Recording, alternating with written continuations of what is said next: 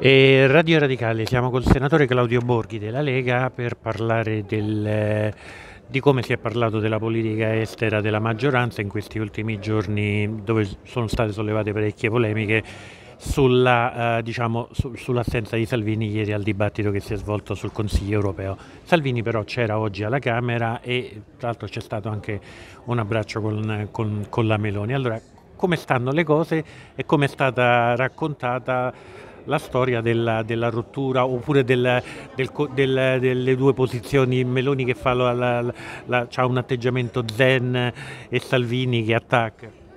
Ah, questo è tutto teatro messo, messo in giro da, da, da, chi ha dei problemi ben più gravi.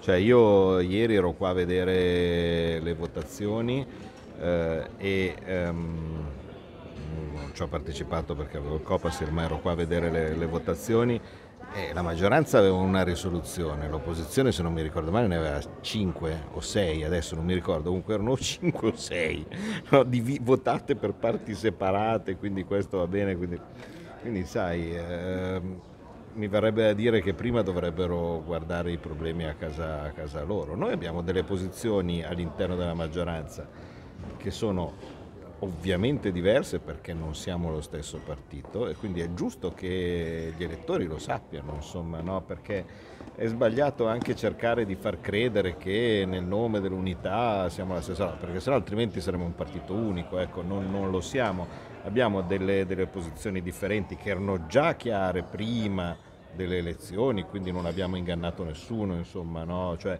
la Meloni eh, che avesse detto che Fratelli d'Italia era per il, il, il sostegno militare, eh, costi quel che costi all'Ucraina, l'aveva detto chiaramente prima delle elezioni, che noi non eravamo d'accordo sull'uso delle armi come strumento per ottenere la pace, cose così tipo, l'avevamo detto anche questo prima delle elezioni, quindi insomma che, le nostre posizioni erano, erano, note, trasparenti e così via, poi ovviamente siamo all'interno, siamo, siamo una, una, coalizione di maggioranza, non, non, sarebbe da pazzi pensare che le coalizioni si scindono eh, ogni volta che c'è una, una, un disaccordo.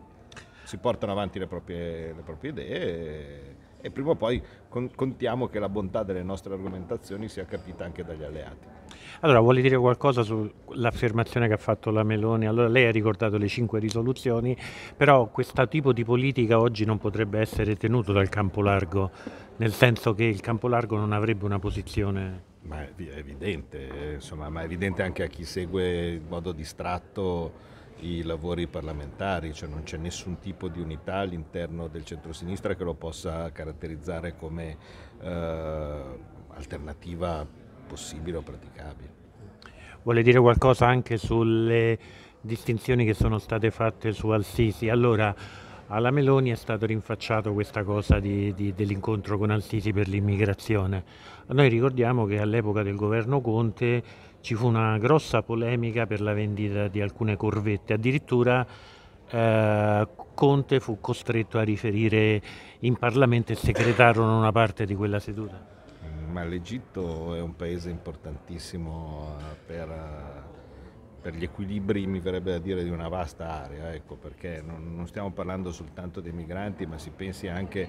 Al Mar Rosso anche si pensi al Mar Rosso, eh, si pensi al, al confine con, con Rafah, con, con Israele, certo. con Israele così, così tipo, quindi stiamo parlando di, uh, di un paese che, che, che, che, bisognerebbe essere dei matti a non tenere delle, delle, relazioni il più amichevoli possibile. Poi è ovvio che c'è stato quello che c'è stato e, e, e non, non, è sicuramente uh, che, si possa girare pagina in modo semplice, però eh, è, è, è, così importante insomma, eh, tenere le relazioni con tutti che, che, che, ovviamente potrebbe essere molto più dannoso in termini di vite umane così questo tipo prendere non, eh, e non tenere relazioni.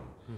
Senta, un'ultima cosa, come avete visto l'offensiva che c'è stata da, da, una, una, da una, parte di, di, un, di un certo tipo di stampa nei vostri confronti?